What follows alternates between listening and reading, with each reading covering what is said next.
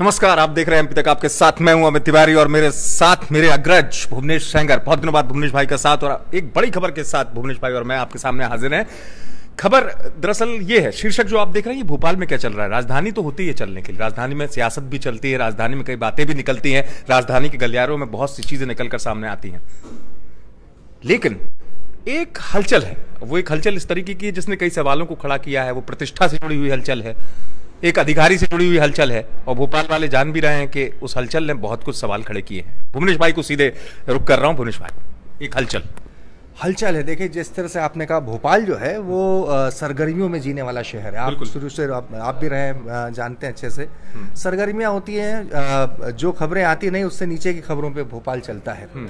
भोपाल का खबरों का चौपाल भोपाल। बिल्कुल चाहे सियासत की हो और जितनी सरगर्मियाँ सियासत को लेकर होती है उतनी उतनी सरगर्मी भोपाल में ब्यूरोक्रेसी को लेकर होती है। ब्यूरोक्रेसी का गढ़ होता है। किसी प्रदेश की राजधानी और देश की राजधानी अगर ब्यूरोक्रेसी को लेकर चर्चा का बाज़ार गर्म न हो हम्म। तो फिर वो राजधानी कैसी? क्योंकि देश भर के दिल्ली में देश भर के और भोपाल में प्रदेश भर के ब्यूरोक्रेट रहते हैं।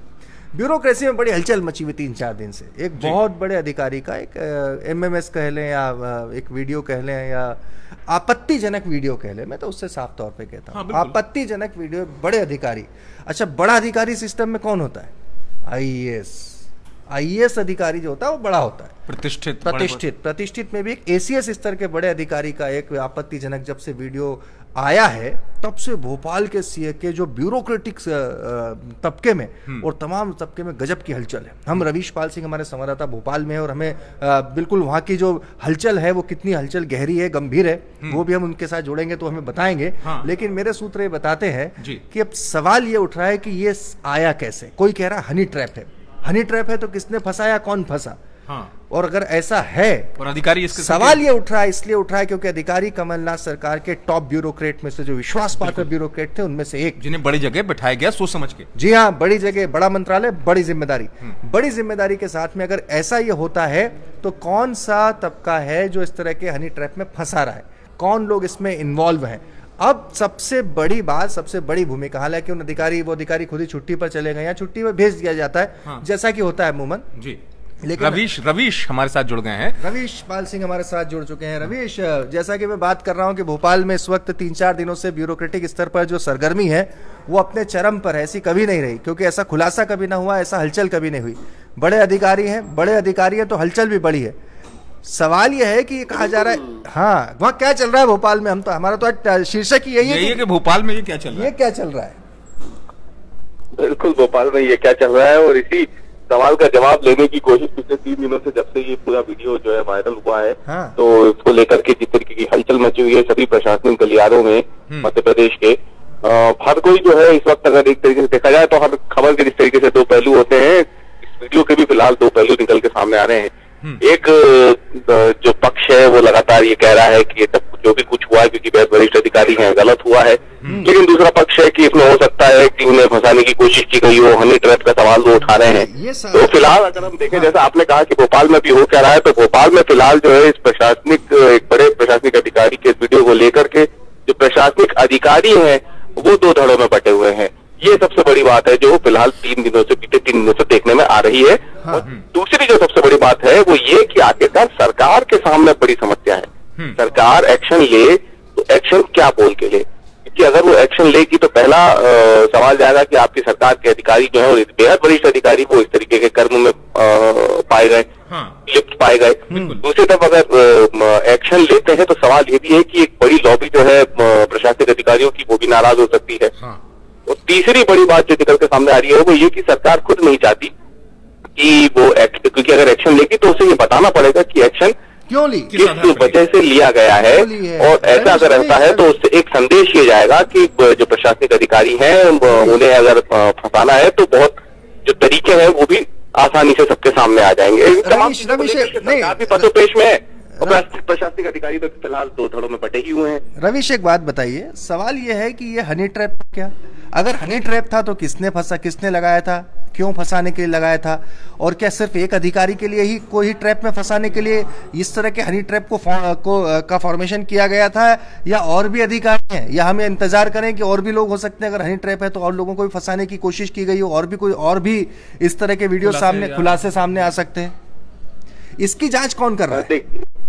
देखिए अभी फ़िलहाल इसकी कोई जाँच नहीं हो रही। हम्म। क्योंकि ना तो पुलिस में इसकी कोई शिकायत हुई है ना ही विभागीय स्तर पर इस वीडियो की कोई जाँच हुई है हम्म। और ना ही अभी तक ये निकल के सामने आया है कि आखिरकार ये मामला हनी ट्रैप का बनता भी है या नहीं क्योंकि हम्म। स्थिति तभी स्पष्ट हो पाएगी जब इस मामले की तहकीकात होगी तहकीकात के स्तर पर अगर हम देखें तो ना तो पुलिस की तरफ़ से ना ही विभाग की तरफ़ से या सरकार की तरफ़ से हम्म। अभी तक किसी भी तरीके की भी जाँच की बात की गई है हालाँकि ये बात ज़रूर निकल के सामने आई है कि वीडियो सामने आने के बाद से ही जो संबंधित अधिकारी हैं वो लंबी छुट्टी पर चले गए हैं आज सामान्य प्रशासन विभाग में जब हमने बात की है तो वहाँ के जो बाकायदा मंत्री हैं डॉक्टर गोविंद सिंह उनसे हमने बात की तो उनका भी यही कहना था कि बहुत जल्द जो है इस पे कार्रवाई की जाएगी हाँ। लेकिन फ़िलहाल वो भी इस पे कैमरे के सामने बोलने से बच रहे हैं और इसलिए उन्होंने कैमरे के सामने बात भले ही ना कही हो लेकिन हाँ उन्होंने ऑफ़ द रिकॉर्ड बात करते हुए तमाम बातें बताई हैं किस तरीके से इस पूरे वीडियो के सामने आने के बाद सवाल उठ रहे हैं और इन सवालों को जल्द ही जो है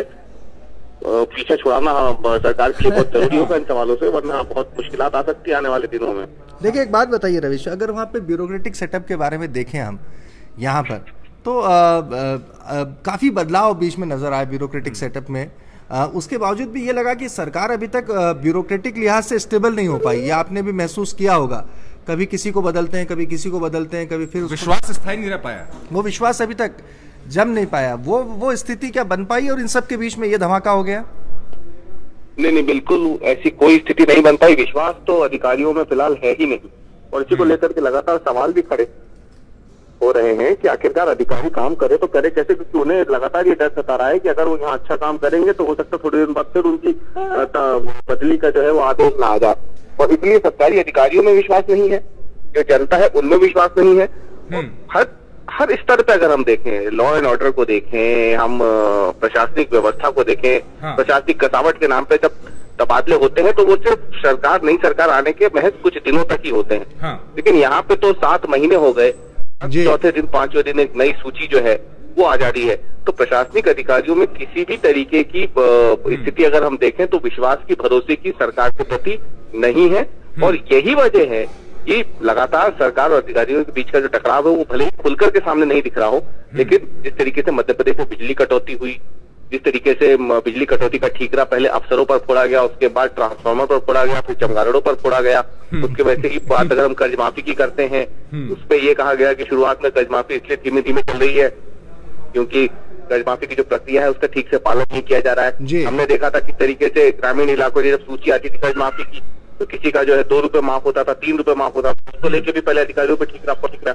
इन तमाम चीज़ों के बाद से ही लगातार जो बात भरोसे की विश्वास की आप कर रहे हैं तो विश्वास ना तो प्रशासन के स्तर पर दिख रहा है हम्म। जनता के स्तर पर दिख और ऐसे मामले और आ जाएँगे तो ऐसे मामले अगर इस तरीके से तरीके के जो हाँ, जी। जी रविश मेरा तो ऐसे मामले आएँगे तो फिर उस तरीके से स्थितियाँ जो है वो संतोषजनक तो नहीं कही जाएँगे बिगड़ेंगी। जी बिल्कुल बिगड़ेगी ही क्योंकि बिगड़ने के अगर हम बात करें कि यहाँ पे सुधार कुछ हो रहा हो तो सुधार होता तो किसी भी सूरत में तो कम से कम नहीं दिख रहा है हाँ। और ये जो हालिया वीडियो सामने आया है अभी आपको बताएँ कि ये तो बहुत छन छन की खबरें निकल रही हैं जैसे कि भूपेश जी ने थोड़ी देर पहले कहा था हाँ। क्या ये इकलौते अधिकारी हैं जो हनी ट्रैप में फंसे हैं हाँ। वाकई में अगर इसकी जाँच होती है हाँ। और जाँच होने के बाद अगर कुछ बातें निकल के सामने आती है तो हो भी सकता है क्योंकि हमने पूर्व में देखा है किस तरीके से सेना से जुड़े हुए महत्वपूर्ण दस्तावेज़ जो होते हैं वो हनी ट्रैप के चक्कर में और एक ही जगह से नहीं ऐसे कई जगह से मामले सामने आए हाल ही में मध्य प्रदेश के बैतूल से भी ये हाँ। मामला सामने आया था जिसमें हनी ट्रैप का शिकार हुआ था एक सेना का अफसर तो इन तमाम चीज़ों को ध्यान में रखते हुए कहा जा सकता है कि अगर हाँ। वाकई और रवि रवि तो अधिकारी हाँ होगा अधिकारी बड़े हैं तो ये भी तो जाँच की जानी चाहिए कि अगर ऐसा कुछ है हाँ। मामला तो कहीं कोई फेवर तो कहीं किसी को नहीं गया चलिए चलिए रवीश बहुत बहुत शुक्रिया हमारे साथ जुड़ने के लिए। भोपाल का हालचाल आपसे इसी तरह हम लेते रहेंगे लगातार। बहुत बहुत शुक्रिया रवीश तो कुल मिला के भुवनेश भैया बात जो निकल के आई थी सामने जिस सवाल को आपने बड़ी चिंता के साथ उठाया था दोनों चीज़ें हैं। दोनों स्थितियाँ दोनों हनी ट्रैप हो या कुछ भी दो बात है। एक तो जब विधानसभा में दो बीजेपी के विधायकों का पाला बदल पाला बदलना कहूँगा भले बीजेपी माने या ना माने हलचल तो वैसे उसके बाद से जो कमलनाथ सरकार को एज मिली थी। उसके बाद ये जो प्रशासनिक इस तरीके से चीज़ें हो रही हैं भोपाल में, वो एक तो बैकफुट पे जाता है। दूसरा, अब जो जो सियासी सरगर्मी है, वो टिकी हुई है मंत्रिमंडल के विस्तार पर। क्योंकि आपको याद होगा हमने निर्दलीय विधायक से बात की थी उनका कहना था कि मुझे तो पक्का आश्वासन दे रखा है। और हाँ। ऐसे लॉलीपॉप एक को नहीं कमलनाथ जी ने दसियों सब आश्वस्त हैं। दसियों विधायकों को बांट रखे हैं और दसियों विधायक आश्वस्त हैं कि हम तो मंत्री बनने वाले हैं। हम्म, हम्म। अब सवाल ये कि कमलनाथ जी कितने लोगों को मंत्री बनाते हैं हम्म। ये देखने की बात बस तो ये बड़ी खबर है लेकिन भोपाल में हलचल है और पल पल क्या हलचल है भोपाल की? मध्य प्रदेश में क्या हलचल है? मैं और भुवनेश भाई आपके साथ लगातार खबरों को लाते रहेंगे और लेकिन उसके लिए आपको एक काम करना है नज़र रखनी है। नज़र काहे पे एमपी तक पर। ज़रूर सब्सक्राइब करें। बहुत बहुत शुक्रिया हमारे साथ इस चर्चा में जुड़ने के लिए। बहुत बहुत दिल से शुक्रिया। धन्यवाद।